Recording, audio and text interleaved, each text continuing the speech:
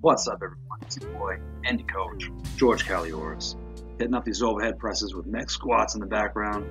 it's my homegirl, Meg. We're at A1 CrossFit up in West Bend, Wisconsin. Strict pressing this weight here. This is 145, if I remember correctly, which I think it was ended up being a rep PR. 80, no, 125 for eight which is still a rep PR. Never, Can never really get past like six reps for whatever reason. So then I went up to 145, strict pressed for six reps. My pressing has never been that good. My squatting has never been that good. My deadlift is the only thing that keeps me together, and even lately, that's not that good. I don't know what the hell I'm doing as a lifter. I don't even know why I fucking bother lifting anymore. But it's what we do. It's how we live. It's our passion and it's our life. Life lifting the pursuit of happiness. Yeah. So then I took it out and I did push presses with it. Uh, 165 for some reps and some sets, which is pretty cool. I guess. I don't know, 165 is not that great. Nothing really that great nothing I'm doing lately is that great. I'll just preface that right now. The only thing that I'm doing is uh, just putzing around, trying to build some weaknesses, trying not to do the same things over and over again. So hitting up some incline bench works good for the log. Ended up with uh, 165 for a set of 8 and a set of 9. Really not keeping track of what I'm doing right now. Uh, because everything's just kind of all over the place. I don't really care what I'm lifting anymore at this point in time because I don't have any contests to prep for. I'm not uh, in competition prep mode and just don't really give a shit. I just want to get a pump and get some work done. So I'm hitting up a ton of reps and uh, conditioning type stuff. And this was in preparation for the dollars for deadlifts. This is 405. I was actually feeling really fucking good on this day. I took my time to warm up. I wasn't really rushing around because I knew I didn't really want to lift a whole lot of weight.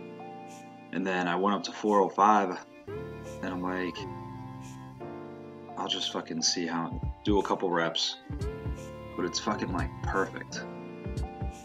Like, back is rigid and straight, neck is perfect, pushing the floor away. Everything about that lift was fucking perfect. So I'm like, you know, I feel really good. I'm just going to touch 405 just to kind of prep my nervous system for a Sunday, which was in four, three days.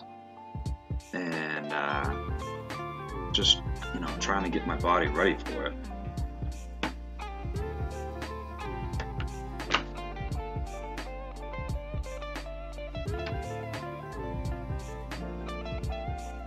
Like, still pretty fucking perfect.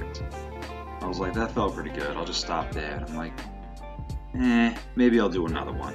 See how it feels. So I ended up with 455 for a double on this day with no belt or wraps. Straps, I mean. Which was alright. It worked out. And then I just hit some some of these deadlift rows and some glute ham developer leg curls.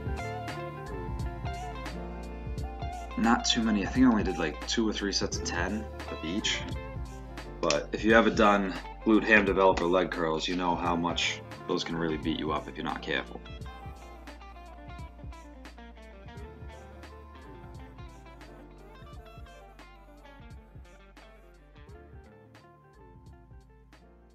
Then uh, we ended up with some box jumps. Sean was doing some box jumps. I'm like, let's do this. We do seated box jumps, which we haven't done in a while. So we would do the rock ones, rock and slam, turning velocity into force at a very fast rate. And then I think we ended up doing some wide stance ones. Yep. So working on screwing the hips out, screwing the knees out, building some hip rotation and uh, lateral force.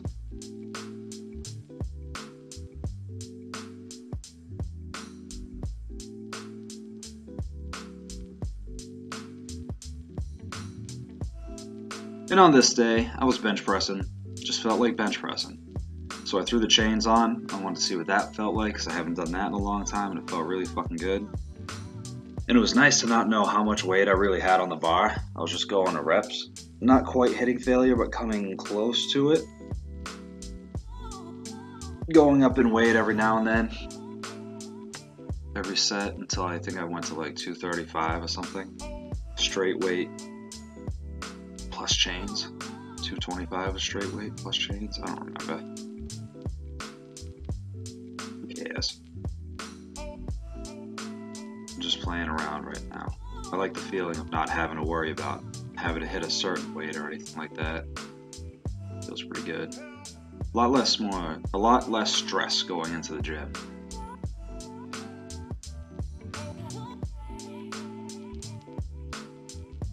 If something doesn't feel right, you don't feel obligated to just have to do it anyway. You can just change things up or just not do as much weight or not do as many reps. Just get some get some work in. I think these chains on the bench press and the overhead press are really helping though. Which uh, I'd really love to get a fatter pair of chains for the squat and the deadlift and actually start using those and conjugating style again because I really do enjoy the conjugate method. I like not having an idea of what I need to go in and fucking do, but just to set something up and then just to hammer it. And then with these close grip benches, I was supersetting them with banded pull ups. So I had my foot in a band and it was kind of assisting me, but I was really working on pulling the bar as low down my chest as I could, really getting my lower lats involved, my elbows tucked about way behind me, my hand, my wrists like over the bar, which you'll see in just a second here.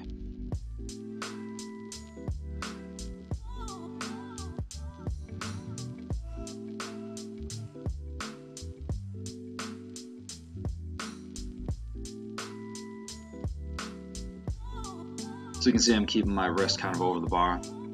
I'm pulling that bar down, I'm really squeezing my shoulder blades together. Stretching at the bottom, squeezing the bar, pulling the shoulder blades, squeezing the shoulder blades together. All felt pretty good.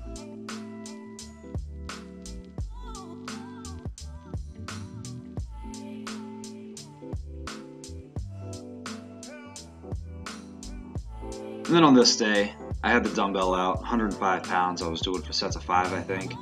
No belt. Probably should start wearing a belt on these. My chiropractor's not happy with the, my spine. So I should probably wear a belt on them, but you know. Why would I be smart like that?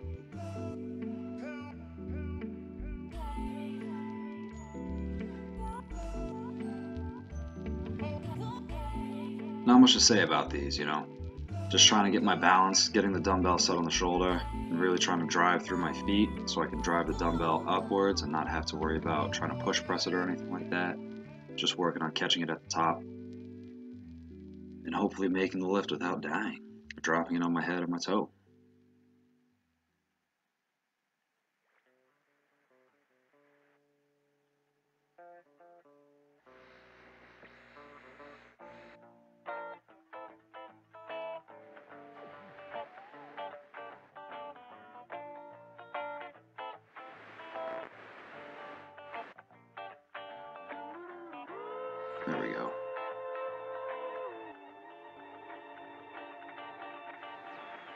Just when you thought I was done.